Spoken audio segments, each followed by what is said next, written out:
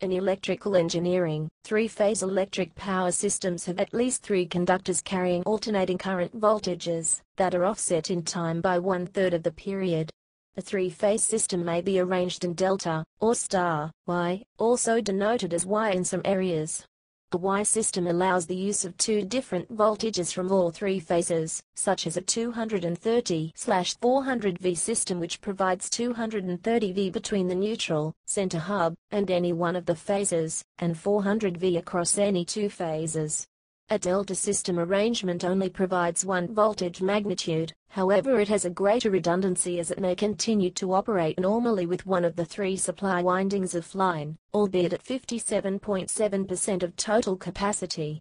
Harmonic currents in the neutral may become very large if nonlinear loads are connected. Definitions Elementary 6-wire three-phase alternator, with each phase using a separate pair of transmission wires, elementary three-wire three-phase alternator, showing how the phases can share only three transmission wires. Three-phase transformer. Each phase has its own pair of windings. In a star, Y, connected topology, with rotation sequence L1, L2, L3, the time-varying instantaneous voltages can be calculated for each phase A, C, B respectively by where is the peak voltage? Is the phase angle in radians? Is the time in seconds, is the frequency in cycles per second and voltages L1N, L2N and L3N are referenced to the star connection point. Balanced loads. Generally, in electric power systems, the loads are distributed as evenly as is practical between the phases. It is usual practice to discuss a balanced system first, and then describe the effects of unbalanced systems as deviations from the elementary case. Constant power transfer, an important property of three-phase power is that the power available to a resistive load is constant at all times. To simplify the mathematics, we define a non-dimensionalized power for intermediate calculations. Hence, substituting back. Since we have eliminated we can see that the total power does not vary with time. This is essential for keeping large generators and motors running smoothly. Actually, the load need not be resistive for achieving a constant instantaneous power since, as long as it is balanced, or the same for all phases, it may be written as so that the peak current is for all phases and the instantaneous currents are. Now the instantaneous powers in the phases are using angle subtraction formulae, which add up for a total instantaneous power, since the three terms enclosed in square brackets are a three-phase system, they add up to zero and the total power becomes or no neutral current. For the case of equal loads on each of three phases, no net current flows in the neutral.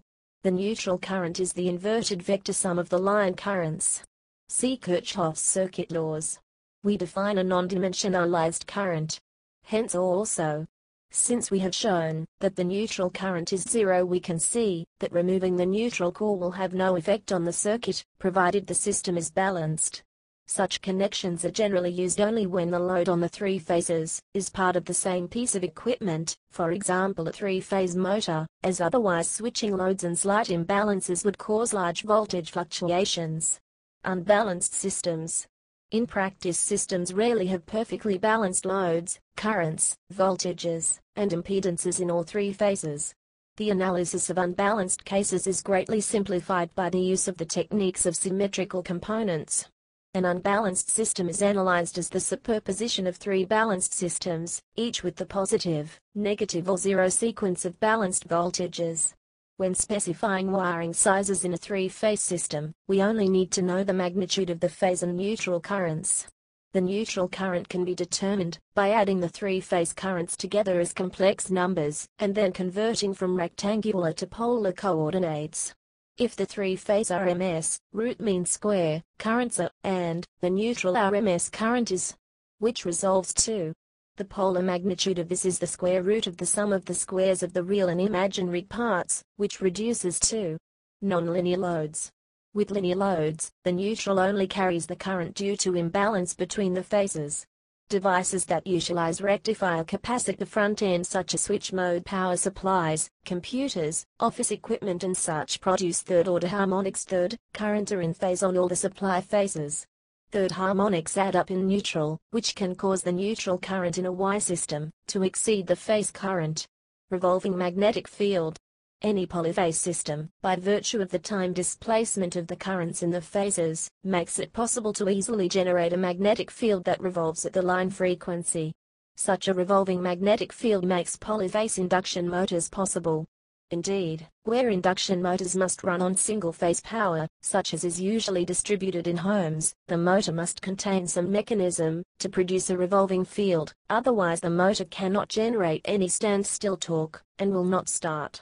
The field produced by a single-phase winding can provide energy to a motor already rotating, but without auxiliary mechanisms the motor will not accelerate from a stop when energized.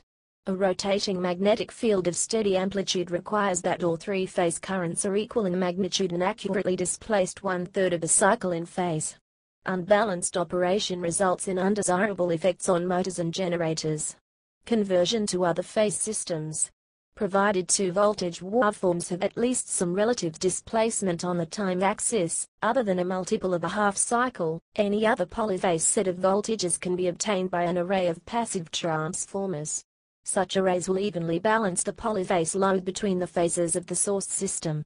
For example, balanced two-phase power can be obtained from a three-phase network by using two specially constructed transformers with taps at 50% and 86.6% of the primary voltage.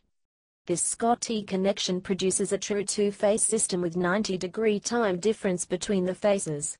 Another example is the generation of higher phase order systems for large rectifier systems, to produce a smoother DC output and to reduce the harmonic currents in the supply. When three phase is needed, but only single phase is readily available from the electricity supplier, a phase converter can be used to generate three-phase power from the single phase supply. System measurements it is possible to measure the power in a three-phase system using two transducers when there is no neutral, or three transducers when there is neutral. Blondel's theorem states that the number of measurement element required is one less than the number of current carrying conductors.